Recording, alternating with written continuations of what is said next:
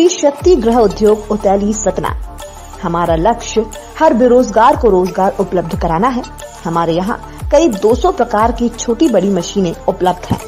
किसी भी जानकारी के लिए आज ही कॉल करें। Seven zero two four one five nine five double nine. ISO certified Shri Shakti Griha Udyog Yadav धर्म, काटा के पीछे उतैली सतना, मध्य प्रदेश। नमस्कार, आप देख रहे हैं गुड मॉर्निंग टीवी और मैं हूँ आपके साथ छवि। रीवा के पुराना और भाटी गाँव की सीमा में कई टन केमिकल नहर के किनारे पड़ा हुआ है, जिससे दोनों गाँव में भय का माहौल व्याप्त हो चुका है। ग्रामीणों का कहना है कि बीती रात किसी अज्ञात के द्वारा ये सफ़ेद पाउडर नुमा केमिकल यहाँ फेंका गया है। धीरे धीरे ये पाउडर नहर में भी घुल रहा है। बड़ी मात्रा में फेंके गए इस केमिकल पाउडर को लेकर ग्रामीणों के बीच तरह तरह के कयास लगाए जा रहे हैं। हालाँकि अभी तक ये पता नहीं चल पाया है कि ये किसने किया, लेकिन अब लोग इसके दुष्प्रभाव की भी बातें कर रहे हैं। लोगों का मानना है कि अगर ये पाउडर पानी में घुल गया और हवा के माध्यम से गाँव तक पहुँच गया तो इसके दुष्परिणाम भी हो सकते हैं।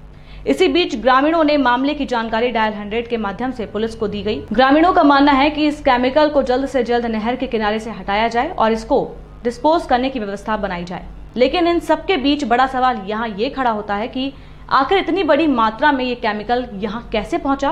प्रशासन को इसकी जाँच ज़रूर करनी चाहिए। नहीं, मेरा नाम प्रदीप शर्मा है।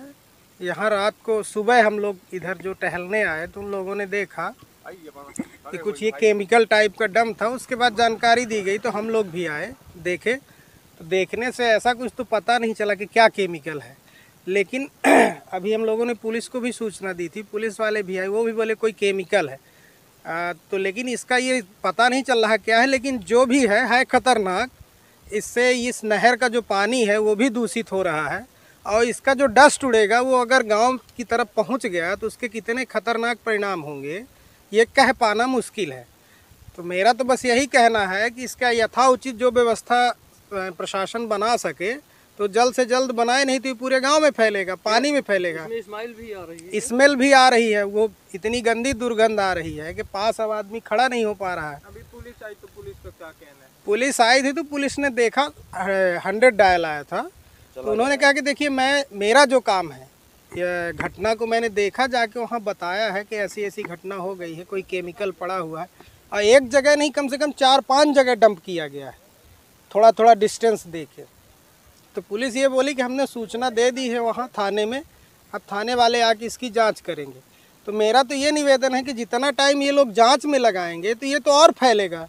अगर इसका पानी कोई इस्तेमाल कर लिया तो उसका तो फिर न्यारा ज्वारा ना हो जाएगा। अभी किसी तरह की जनहानि तो नहीं अभी किसी तरह की जनहानि लेकिन हो सकती है भविष्य में।